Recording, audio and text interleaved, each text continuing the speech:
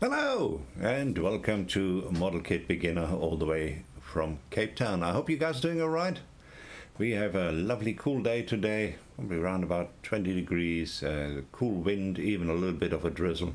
Lovely, lovely weather as you want to have it in Cape Town. Right, today we're having a look at uh, something interesting. Ah, there it is. Quick, uh, quick out the history, um, well, not of the kit, but how I got it got it this morning. Actually, there was another kit review supposed to go up today, some uh, more run-of-the-mill model, but uh, this morning there was a hobby kind of fair, you know, where people sell their stuff. Uh, very, very few car kits. Uh, Cape Town is not a great place if you want to do uh, car modeling. There are very, very few car modelers around, I'm afraid, and uh, so uh, all you have to deal with is um, military guys, and there were military guys there, and uh, especially one corner off the hall was if you're not military and 172, you know, they don't even greet you. So that's awesome. Yeah, but uh, there were a few, and, and what I found was a the beautiful uh, Corvette Grand Sport, which you can see. I think it's a 67, if I'm not, oh, 64 here we go. So it's the same year I was born. That's fantastic. All right. So it's a 64 Corvette Grand Sport, which means it's just one year after the split window. So this one shouldn't have one, and it doesn't. Okay, and we're certainly going to have a look at it. It's uh, accurate miniatures. They're always interesting kits. Uh, you you never get disappointed from a entertaining point of view. So this is uh, not kind of a standard kit, I think, and uh, I'm looking forward unpacking this with you so we can have a look. So let's move down to the bench. But before we do it, uh, quick move over to Scalemates because uh, we want to see if there is any history behind this.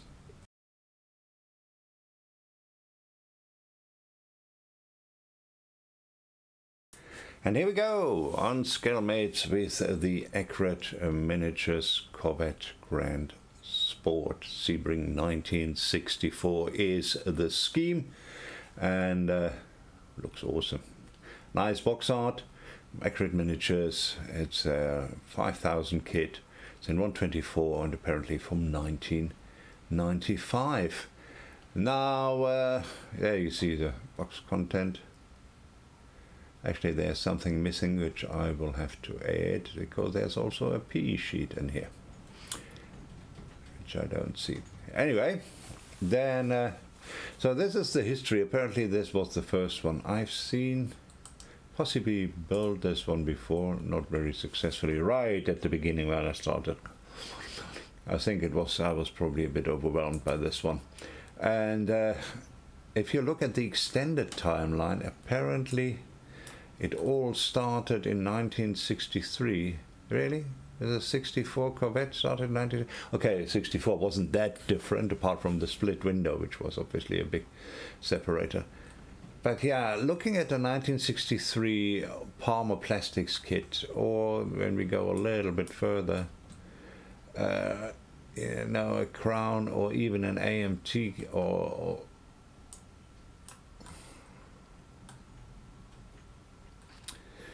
Here we have a monogram coming out in 1985. Same kit, you think? I don't know. I I was kind of thinking this is an own, and it looks like it is a own own thing. Oh right, also okay.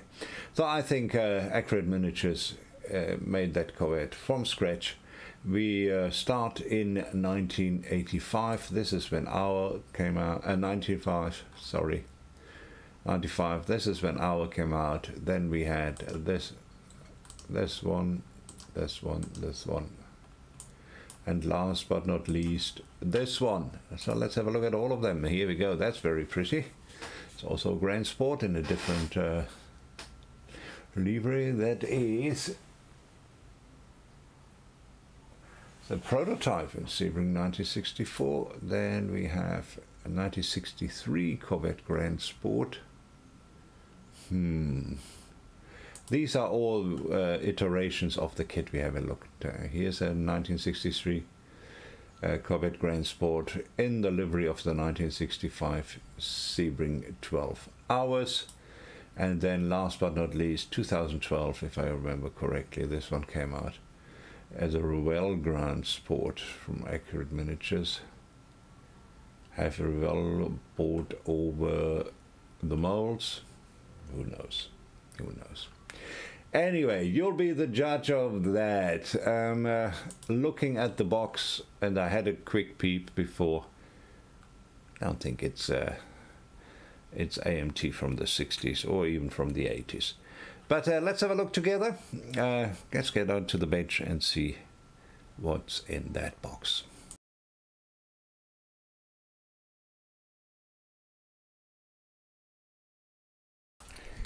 And here we are down on the bench with uh, the box of the Corvette Grand Sport 1964 Sebring.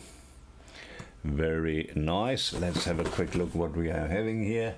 It uh, tells you the kit features right over here, what's in there, the materials required, and this in English and French. Plastic parts, made in Korea, decals made in Mexico, designed and packaged in the USA. And then you have a little bit about the Corvette in uh, five different languages, which is fantastic. It in English, French, German, Italian, and Spanish. And let's have a look at the back. Here you go. Let's put it this way. There you go. There you see the chassis and uh, then the body right over here gives you an idea what it could look like once you are done with it. But let's open this thing. Here we are. Let's put it to one side. Instruction sheet. Let's leave that with us. We have a body, plastic parts, plastic parts. Oh, that wasn't very exciting, wasn't it? Aha! But you must look closer. Padawan. Because this has a double bottom. Here we go. Look at that. Isn't that great? We have glass and glass. Did we luck out and get two glass? Uh, we have chrome, kind of. Tires. We have those PE parts, which didn't feature in on Scalemates, you remember. And uh, we have decals right over here. And that's about it. Let's put our false bottom in again. That's cool. I like that. Right. And then we go to the instruction sheet. Let's see, do I have something online for this? Nah. Right, because this is quite a biggie, this instruction sheet. Uh, yeah. Corvette Grand Sport. Painting instructions are interesting. So for every step you do, and we get to the steps in a minute, you get the painting instructions on the first page. So you have to page back and, and uh, look at the painting instructions.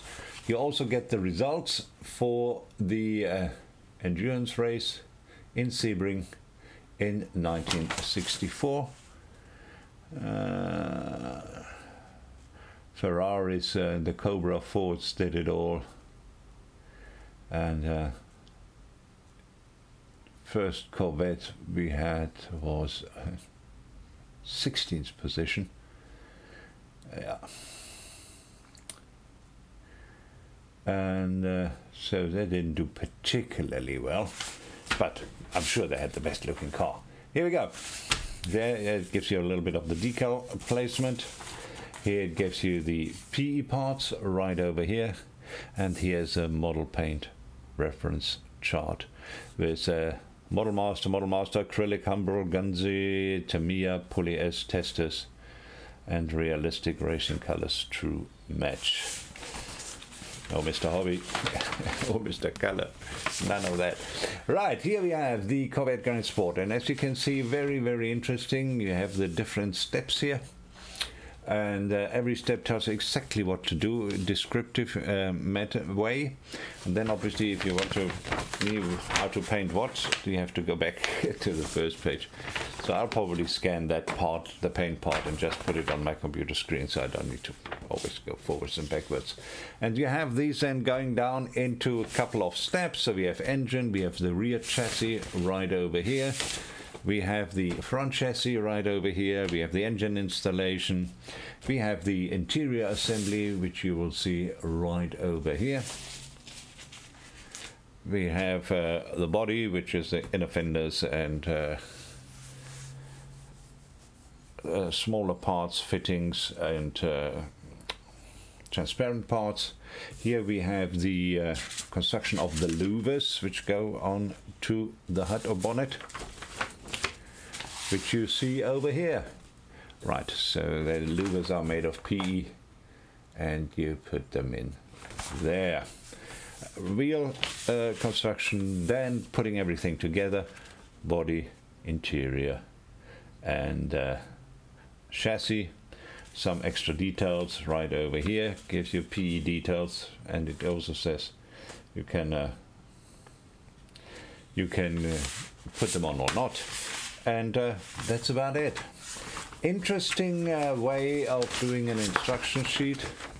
I can see why this hasn't become commonplace. It is a bit confusing. And uh, doing uh, this one here. Oh, what must? How must I paint engine for? Oh, 51 and 52 aluminium. Who is 51 and 52? Uh, oh, there. Oh, these are the engine halves. Okay, engine halves aluminium starter gloss black. So yeah, it, it, uh, will ask. It needs a different way of organizing your build. And let's have a look at the decals. Seem to be done uh, by Accurate Miniatures themselves, and as we have seen on the box, printed in Mexico. Right. And what are we having on here?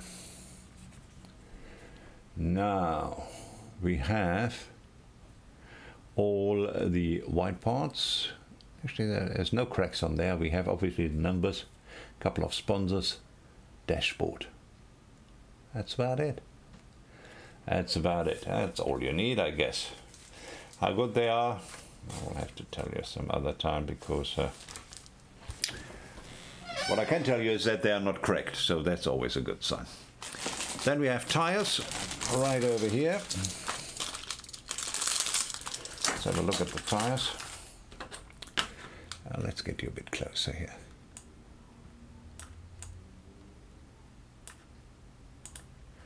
There you are. Right. Tires are all on a sprue. Oh, here we go. Let's have a look at the tread. It's not bad. Not bad at all. Uh, not bad at all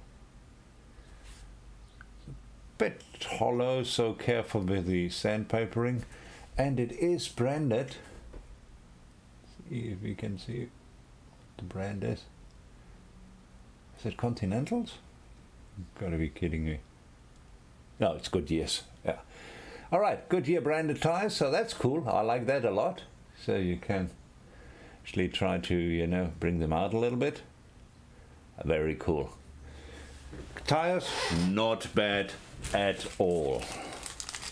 They are hard though, so you will uh, you will to need to assemble the wheel around it. Uh, I don't think you could possibly think of pushing them over your wheel L-ring afterwards. So yeah, there's that.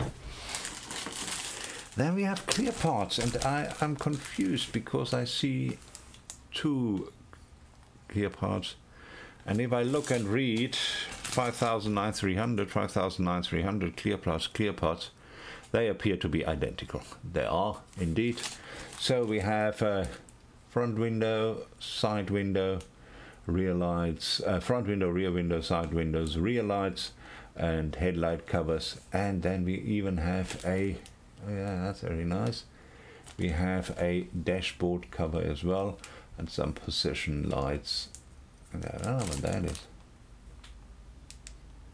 It go on the mirror? these things here, which I'm sure go somewhere. And uh, that are your clear parts, and uh, like we lucked out and have them times two. Then let's have a look at the chrome. It's a weird color. See that? Not really chrome chrome. Looks like chrome brass kind of mixture. Yeah, so the chroming here is not very good, not very good at all. I don't have a problem that it is not shiny shiny, that's fine. Um, but yeah, I don't like the brassiness coming out from underneath the chrome. Uh, it looks, uh, if it would have added to a worn look, that would have been nice, but it doesn't really. So have a look at the steering wheel here quickly, very nice actually. So this will be all dechromed Here are the wheels, which are pretty. We have the wipers right over here, and uh, knockoffs right over here, and other parts like valve covers. So yeah, these. Uh, if you're anything like me, you will dechrome the, all of them, and uh, chrome them yourself as you need it. For example, the steering wheel doesn't need any chrome, does it? Right, and oh yeah, let's have a look at this. We have the PE parts. These are the PE parts which you use. I don't need to open that. These are the PE parts you use to uh, put the louvers on the hood together. And then here are some other more detailed PE parts right over there. Pretty cool. Pretty cool. Then uh, let's get to the plastic. It is all molded in this grey, which I actually like. Uh, that's one of my favorite uh, sprue colors, if you want so. And uh, let's have a look what it looks like. Right. Looks like the front assembly, which uh, fits to the radiator. Let's have a quick look at the detail. Not too shabby, night. Rear wheel spare wheel right over here, assembly. Then we have this, we have uh, a leaf spring right over there, inner fenders, which we have seen already. And then we have the chassis, very cool, right over here. Actually looks very good, don't see much flash, see quite a few seams, so it will need a cleanup. But the plastic appears to be soft. Well, it's just, yeah, yeah. There's no problem. You will uh, easily get this sanded and uh, get the seams out. Part of the deal, isn't it? Then we have another one here, right? Uh, more of these, looks nearly like tanks, I don't know. Outlets, uh, A-frames, we have uh, brakes right over here. There we go, they have these newfangled uh, disc brakes, you see that? And then uh, more exhausts right over here, suspension parts right over here, rear, if I would have to guess, there's the battery. Here you go. And uh, belt assembly distributor, other suspension parts right over here. All in all, very nice. Here's even some uh, hoses right over here, very delicate. Need to be careful because they need some cleanup. Everything needs a bit of a cleanup. There on the exhaust, you even see a little bit of flash. So, uh, yeah. Not super clean, allow me to say so. Look clean enough to get an awesome build out of it, but not super clean. Right. Now. Next, uh, plastic sprues. Aha, this is, well, these are the interior panels, engine parts, more engine parts. I think these are the uh, light uh, inside the light covers and light buckets we would call them Uh, we have uh, engine halves,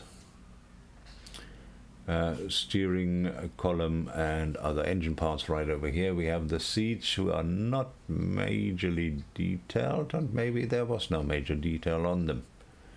Another light bucket right over here, pedals and obviously the hood to which you then have to uh, glue and install and put together the PE parts. They even say in the instruction, please use white glue for the PE parts because you will, uh, in so many words, you will mess up when you use uh, CA glue. Right, oh, came off dashboard. It gives us a chance to have a really good look. Here you go. Seen some dashboard detail.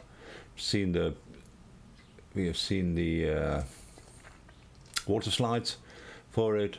That's it. So nothing, nothing extravagant. And uh, since it was a racing car, there probably wasn't anything extravagant in there. Right, then we have the interior, which has a bit of a structure at the bottom. I don't think they put carpet in there. Anyway, there it is. Nothing special about it. Has the uh, gas pedal right over here in it itself. And that's about it. And then last, but certainly not least, the one, the only, the iconic body of the Corvette 1964. Let's get it out. Right. You can see it has these huge stabilizer here, always like that, so there's no, so the A-pillars are not particularly thin, but yeah, rather safe than sorry. So in transport, nothing gets destroyed. Let's have a look here. We get the filler cap detail right over here. You see that? We have some engine detail right over here. Needs a bit of a sand. Here's some of the grill detail in front. On the side, oh sorry, had a rough morning. On the side we have uh, these vents which are open. So if you want to have a real assurance that it wasn't an old AMT kit or monogram kit, here you go. You can see right through. Same at the back. I like that. I like that a lot. Then obviously the swollen arches are right over here. I'm sure they need to be added more right over there. You have these uh, beautiful uh, access points for the handles. Here at the back you have a lid right over here and a little bit of a Corvette uh, 3D as well as the fasteners. A little bit of a grill cooling, looks like oil cooler, something like that, right over here. And uh, then obviously the back now the body is very pretty. Body is really very pretty. I'm looking for where they have stitched it together and I'm telling you, I can't find it. Can't find it. I can tell you that this is all looks very sharp, so this could possibly be a second one. But yeah, body looks really good. It really does. Very, very good. And uh, very pretty, obviously too. So I am, I uh, am rather colored impressed. I really am. So that's a very very nice body. Pretty, very very pretty. Right. And here we are. This is, uh, or was, the uh, Corvette Grand Grand Sport 1964 in Sebring colors. Let's go back upstairs and see to what conclusion we come.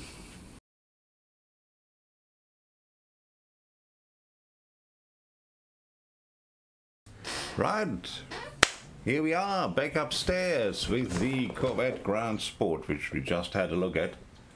Very, very cool kit. And I've seen them, they're not too expensive. I think I've seen it for $40, $45. If you're lucky, you can get it for that.